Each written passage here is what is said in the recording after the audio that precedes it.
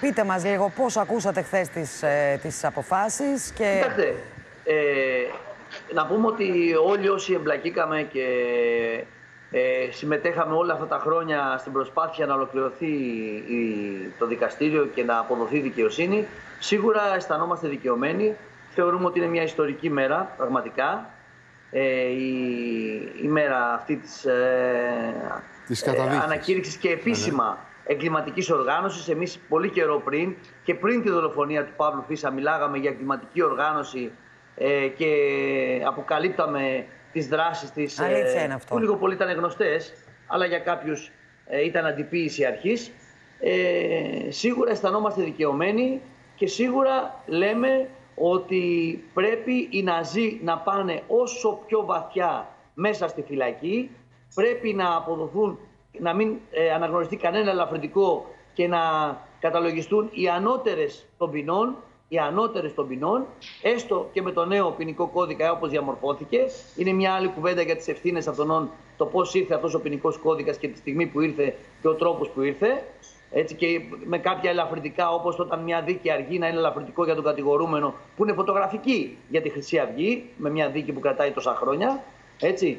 Λοιπόν, σε κάθε περίπτωση λέμε ότι ε, εμείς προσπαθήσαμε και έπαιξε σημαντικό ρόλο να αξιοποιήσουμε τα στοιχεία που ένα-ένα αποκαλύπτονταν στην, ε, κατά τη διάρκεια της ακροματικής διαδικασίας Όταν λέτε, ώστε κύριε να αποκαλυφθεί Πουλικόγεννη, ο ρόλος τους με συγχωρείτε στους για τη χώρους διακοπή. δουλειάς, να σας πω, Με στους συγχωρείτε. χώρους δουλειάς, Όταν λέτε στις γειτονιές. φωτογραφική, υπονοείτε ότι η κυβέρνηση που έφερε αυτούς τους κώδικες έκανε εξυπηρέτηση στη Χρυσή Αυγή; Τώρα, κύριε Παυλόπουλο, εγώ είμαι εργάτης, είμαι, δεν είμαι νομικός, δεν υπονοώ ποτέ τίποτα. Λέω ότι η διάταξη, κατά την άποψή μου, έτσι όπως το ακούω εγώ, ότι όταν μια δίκη είναι πολύ μεγάλη, να είναι ελαφρυντικό για τον κατηγορούμενο και να μην είναι μαχαιριά στην καρδιά της μάνας του Παύλου Φίσα, της Μάγδας, που περιμένει 5,5 χρόνια για να δικαστεί ο δολοφόνος και αυτή η κολυσιεργία τα 5,5 χρόνια τελικά να είναι ελαφρυντικό για τον δολοφόνο, τι είναι.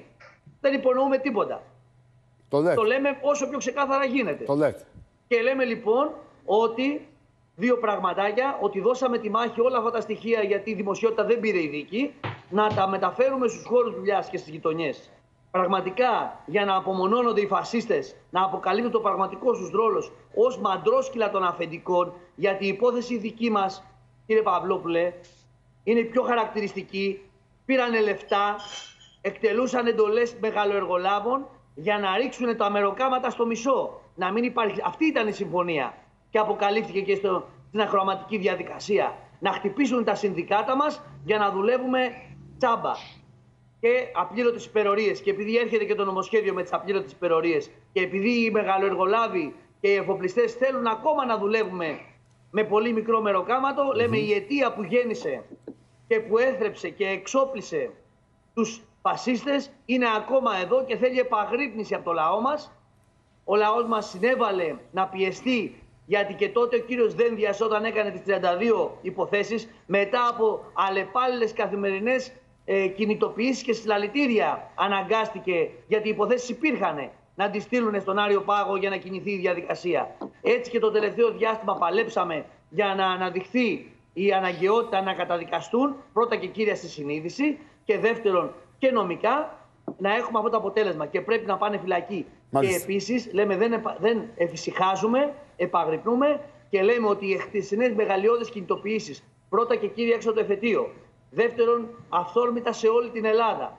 Και τρίτον, το ποτάμι αυτό που όταν επιχειρήθηκε προβοκατόρικα να διαλυθεί η πορεία έξω από το εφετείο, μόλις αμέσως ανακοινώθηκε η απόφαση που έφυγε και κατέβηκε και έκανε πορεία από το εφετείο στη Βουλή και τελείωσε και η συγκέντρωση στη Βουλή και δεν έφευγε κανένας, είναι η πραγματική λαϊκή ετοιμιγορία, το λαϊκό δικαστήριο, η συνείδηση του λαού μας Μάλιστα. που λέει ποτέ φασισμός. Αλλά Κύριε- δεν επαναπαυόμαστε γιατί οι αιτίες είναι ακόμα εδώ.